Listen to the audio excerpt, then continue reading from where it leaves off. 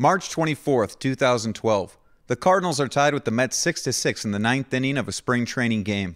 Since it's spring training and the results don't really matter, it's more about getting reps in for players and prospects prior to the season. The Cardinals do what a lot of teams do and start subbing in some of their minor league players in the later portion of the game so they can get some big league experience. Usually, these players are in the media guide so the announcers know who they are, but today is a little different as the Cardinals bring in a pinch runner that doesn't appear anywhere in the announcer's notes. Cardinals have some rotating high numbered jerseys, which they'll give the 90 numbers to their minor leaguers that show up for a day. We're still trying to identify the potential go ahead run third base. I know he's number 91. And on our roster, we do not have a 91. Jose is introducing himself. Have you seen a 91 anywhere? I have not. Yeah, third base. Down at third. How about on this paper? I had Okay. I knew what you meant. Finally, somewhat in jest, the announcers give the player a name. there he is. We officially have his name.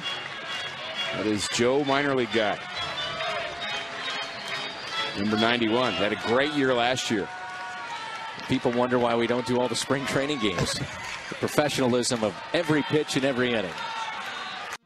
Little did they know, this 19 year old player over the next two years would become a minor league MVP, the number two prospect in all of baseball, a Cardinals starter, a postseason hero, and one of the most promising young players in the league.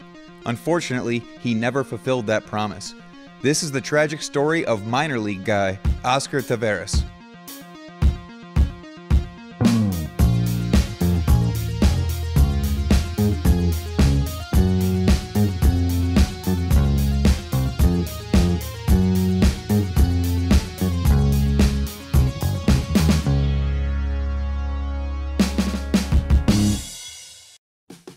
Taveras grew up in Sosua, Dominican Republic, where he excelled at baseball at a young age, earning the nickname El Fenomeno. He signed with the Cardinals as an international amateur at the age of 16 with a $145,000 signing bonus. From 2009 to 2011, he moved up through the Cardinals minor league system from rookie ball all the way to single A, where he had his first breakout offensive season hitting 386 for the Quad City River Bandits. This breakout year got him tagged as the number 74 ranked prospect according to Baseball America and the number 23 prospect according to Baseball Prospectus entering the 2012 season. Even with this success, he still got labeled minor league guy during that spring training game. After his 2012 season, they wouldn't make that mistake again. Taveras took Double A by storm, posting his best professional season to date as a 20 year old. Playing for the Springfield Cardinals, he hit 23 home runs, batted 321, played in the All Star Futures game, was a Texas League All Star, and was named the Texas League Player of the Year. Within the Cardinals organization, he was also awarded the Cardinals Minor League Player of the Year. His prospect stock absolutely took off with him entering 2013 as the number two overall prospect according to Baseball Prospectus. Unfortunately, in AAA, he suffered a high ankle sprain sliding into second base, which required surgery and limited him to only 47 games on the season. He remained productive enough when he did play to still be the number three overall prospect entering the 2014 season, a season where he expected to finally get called up to the majors. Taveras was called up to the Cardinals May 30th, 2014, and started in his first game the next day. In his second at bat, this happened. The 1 0. Hit hard. Deep to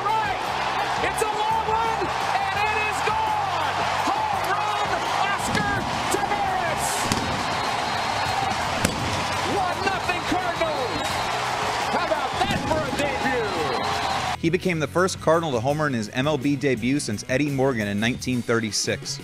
After that successful debut, his bat cooled down, hitting just 189 until he was optioned back to the minors on June 19th.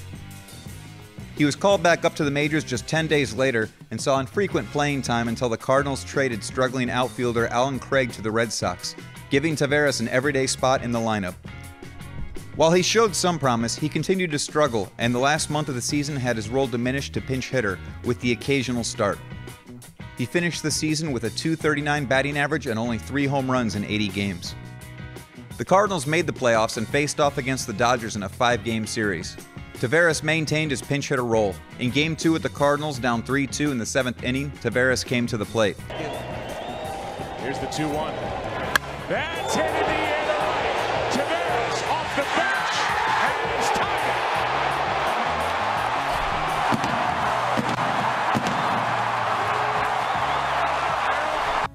The Cardinals went on to win game two, the only game they won in the series as the Dodgers advanced with a 3 1 series win.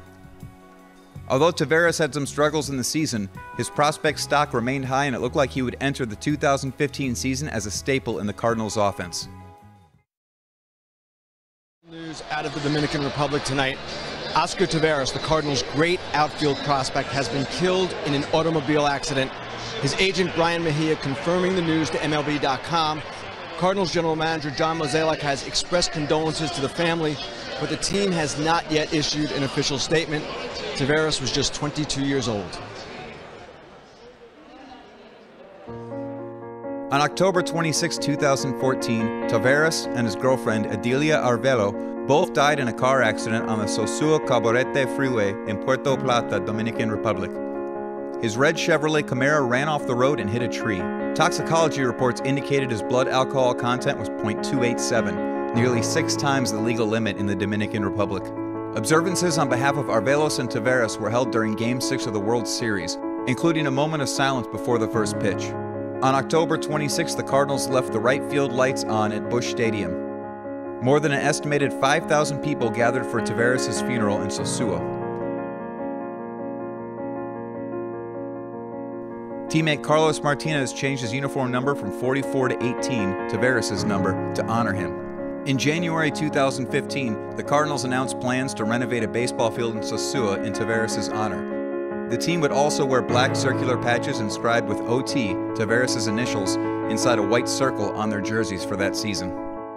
This was the second alcohol related fatality to a Cardinals player in a decade, following that of Josh Hancock in 2007. Cardinals management declared that the team would take a greater role in educating young players to avoid reckless actions. Oscar Taveras was only 22 years old.